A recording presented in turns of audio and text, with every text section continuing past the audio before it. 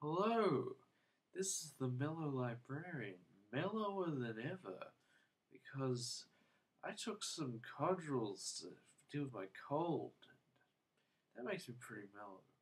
So, what does a mellow librarian do when he's mellow?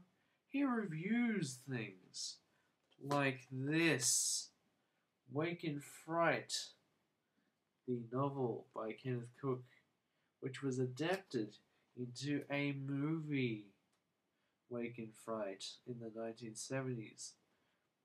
But both of these are actually really good. I have to shake them around here because I'm I'm not used to the depth perception of the camera, but it's they're both really good. Like this is one of the best adaptations of a book that I've ever seen, and this is one of the most original stories about Australia that I've ever read. And the two of them together, it's just it, it's like two sides to the story. Like the movie brings out aspects of the story that you might not have noticed in the book, but like the, some of the books are a bit hard to figure out. Like it's not that I'm stupid. It's just that they, there's some surreal imagery in there that's brought out in the movie a lot more vividly. Yeah, but the thing about Wake in Fright is that the movie was directed by the same guy who brought you, wait for it, Weekend at Bernie's. I'm sorry, but I can't stop laughing about this. The same guy who made you brought what you Wake in Fright brought you Weekend at Bernie's. I can prove it to you. See, uh, there's Ted Kotcheff. Uh, there, that's Ted Kotcheff's name. The director of both movies is Ted Kotcheff, who directed both Wake in Fright and Weekend at Bernie's. And it's amazing because how can the guy who brought you Weekend at Bernie's direct one of the greatest Australian films of all time? I'll tell you how. In the di- in the director's commentary, in like this interview that's on the disc of the Blu-ray, there's like this. There's an interview where he says that because he's Canadian and he's an outsider to Australia, he actually gets a better look into what Australia was actually like back then, and he doesn't really judge Australia. He just shows uh, it shows it like what how he sees it.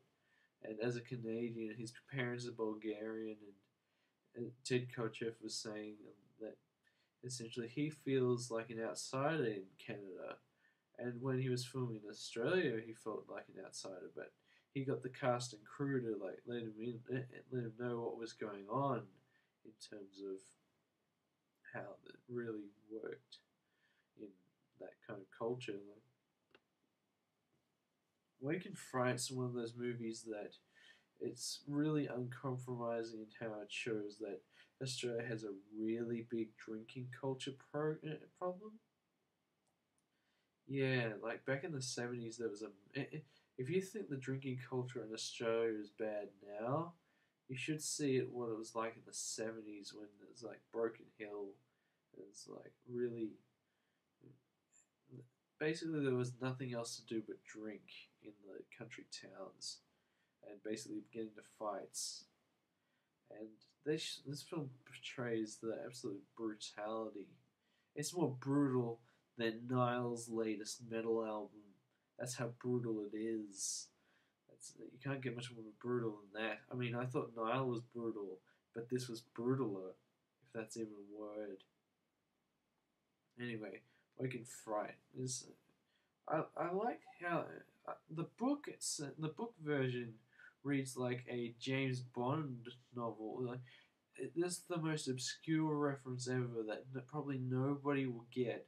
But there's a part in the novel You Only Live Twice by Ian Fleming, which is a James Bond book, the one that where he goes to Japan. And before he goes to Japan, James Bond goes to Australia.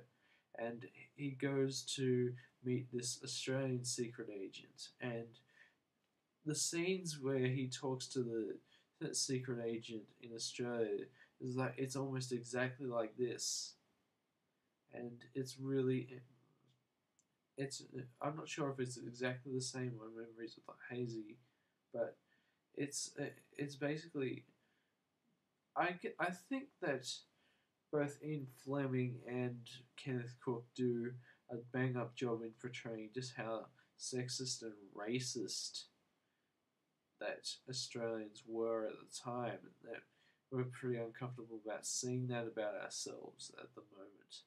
Since we're pretty ashamed of our government at the moment, bloody Conroy putting a filter on us, trying to protect the mm. children, when really we I mean, where were they when we were growing up with the internet in the 90s? We were pretty horrified by the internet, and we turned out fine. But anyway, political rant aside, this is a good book, and this, this is a good movie. Anyway, uh, I, I would give both a 10 out of 10 on my review scale. It's it's real. It's a really interesting story that's quite unlike what you normally see in the cinemas these days. This was actually re-released after a long time when they couldn't find the film print for this movie, and they found a good enough print in somewhere in America. And now that they've found it again, they've re-released it to Cannes, and the, apparently the French love this movie. I don't know, but the French seem to like Australians a lot. I don't understand why, but there is some point where I want to take advantage of this. Who knows? It's like the it's like the Al Yankovic song, "Genius in France," like unappreciated in its own country, but like really loved by the French. It's one of those situations of Wake and Fright because Australians didn't really like Wake and Fright when it first came out, and it was lost for a long time, and then they found it again, and now it's out on Blu-ray DVD or whatever, and they've re-released the book for a new audience. And I think the world is ready to accept Wake and Fright for what it is at this point. And uh, both uh, both are really really good things to read and to watch. And the Blu-ray is region free, as you can see uh, there. It's got all three regions, so you can actually import the DVD, the DVD or Blu-ray from overseas and watch it. So you don't have to really, you don't have to wait until the US releases it or something. But I don't know. Wake and Fright. Good book, good movie. I'll see you next time.